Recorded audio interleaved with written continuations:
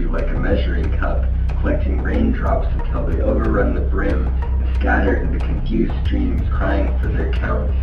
If I were only joyous, I could write poetry like a fat man in a red shirt tickling himself with a bow feather and laughing until hunger reminds him it is time to eat.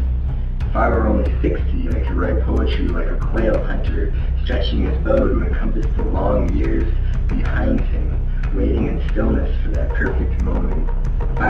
I could write poetry like a thief, wearing moonlight and sarcastic shoes, tap dancing before the world, proving all is perfect. If I could only know perfection, I could write poetry like a golden apple in a tree orchard, waiting with eager passion for the summer child to take its first mouth-watering bite.